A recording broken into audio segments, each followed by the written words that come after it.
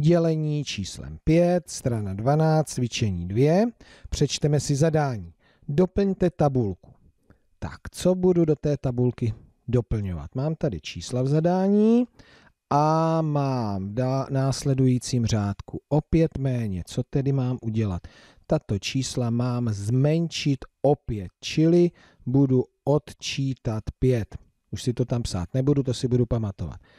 Tady v tom řádku pětkrát méně. Pozor, krát méně, čili budu dělit pěti. Zase tohleto horní číslo. Tak budu počítat po sloupečcích. 40 minus 5 rovná se 35. Pětkrát menší, méně. 40 děleno 5 rovná se 8. Druhý sloupeček. 10, číslo, které je opět menší než 10, 5.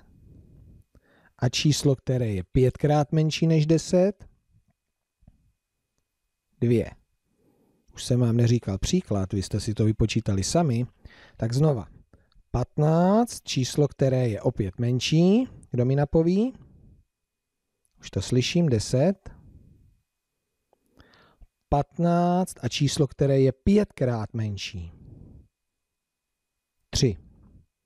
Tady odčítáme, tady dělíme. Rozumíte? Takže další cvičení, na kterém si uvědomíme, jaký je rozdíl mezi o méně a krát méně.